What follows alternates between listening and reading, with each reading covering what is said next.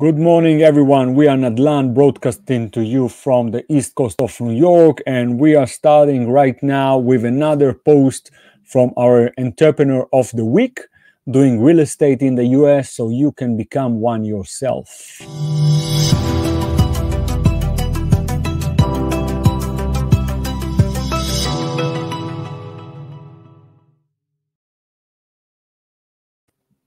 All right, so we are Nadlan broadcasting to you from the east coast of New York, giving you daily updates from real estate entrepreneurs so you can become one yourself. And today we have another post from our entrepreneur of the week.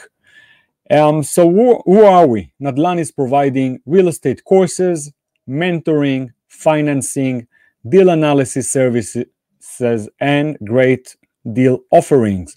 We have a group of analysts that are locating great deals for you guys. So you are more than welcome to contact us. You can text us, you can email us, you can contact us on the website. If you like our content, please give us a thumbs up so YouTube will show this content to more users. Register to our channel and hit the notification button so you can get an alert when we publish new content. So this will make sure you get notified about every new video we post. And you're also welcome to find us on Facebook, social networks, and so on. All right, so let's get to it. All right, so before we're going to get to the post of the day, all right, that talks about integrity in uh, real estate, uh, let's take a look at some of the news on, in our groups and website. So we have a user, um, looking for recommendations for a real estate lawyer and contracts from experience in Long Island area. All right, let's see what else. All right, we have some news about Foxconn. Foxconn Technology Group, the world's largest electronic manufacturer, has reached a new deal with reduced tax breaks for its scaled back project in southwest Wisconsin. Details of the new deal were not immediately released. All right, so whoever doesn't know, Foxconn is the biggest manufacturer in the world for electronics, and they are, they are the company that produces iPhones um, for Apple. So they reached a new deal. There was an older deal in 2017 that was supposed to bring 13,000 jobs to Wisconsin, and um, eventually there was uh, some struggling about that so now they reached a new deal so you can read all about it in our website. All right so another user is looking for flip deals in san antonio texas. So you can go here and see all of the recommendation that users gave him. And um, there is a lawsuit in tel aviv tel aviv district economic court. So there is a large investment company in Israel called Agshama. Um, and this lawsuit is about basically the way this company was publishing their projects in the US and worldwide, uh, real estate project mostly, to investors. So they were supposed to market to up to 35 people um, to give uh, the data uh, to because it's considered to be like uh, basically stock offering and they did it in a wrong way. They uh, subdivided them into group like gold bronze silver etc and each one had 35 people. So currently there is a lawsuit against them and uh, you can go and read about it on our site. So without further ado, let's go into the post of the day after this short break.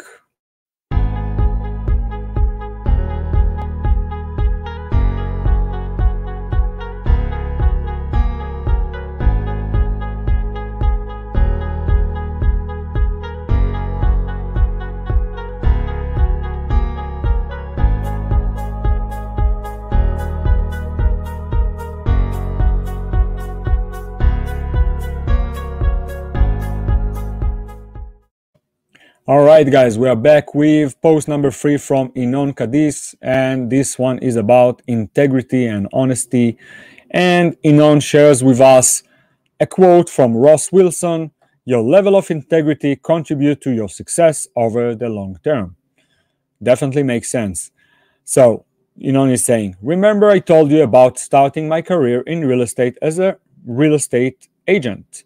So today I will talk about the reason for switching from an intelligence broker to an investment lender in the United States and about the honest person who made me believe in humanity again.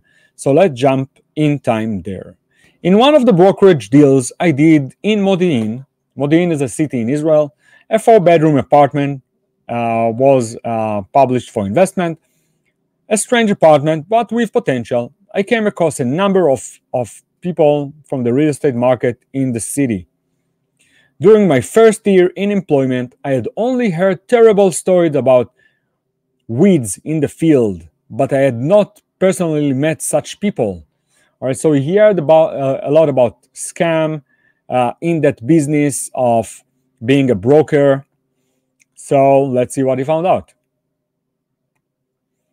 So this this thing in new the apartment, which I had previously visited with another client when the price was much higher, fell dramatically after several months and was cut by about 20%. I, who recognized the potential among the first, and my relationship with the realtor on the other side was great. Galit the champion. I decided to bring in as soon as possible another client who will check if the investment is right for them. After one tour of the property, things started to heat up, and I prepared Galit for an upcoming quote. Galit, who is just a huge heart with a lot of emotion, told me that at the same time, there are two realtors who manage to bring in clients, but I get priority from the very priority and the familiarity. All right. After a few days, another meeting was held at the property, and the story had already progressed to negotiation before attorneys closed. The whole story, a week and a half. Know what happened at that time? The landlord received inquiries directly from those realtors, which is illegal and unethical, right? One sent him pro- provocative photos of her and asked him to move forward with her and her clients. Oh, wow. Another called claiming that we had a client who wanted to buy the apartment immediately and was willing to pay more and slander Galit that she was not doing a good job. And one more just got home, knocked on the door, equipped with stories that do not embarrass Disneyland. I will note that all of these brokers knew for sure about Galit's exclusivity.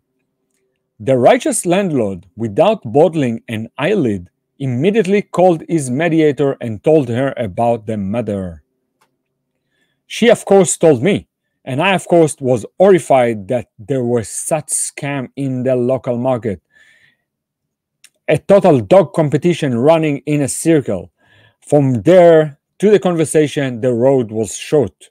So, long story short, the deal was signed. The landlord and Galit got what they wanted. My client won a great apartment at great price. The free scam did not get a good name for a good deal. And me, I won a nice check and a sweet lesson for life. Whatever is yours will reach you. Just keep your values. A sentence a friend told me.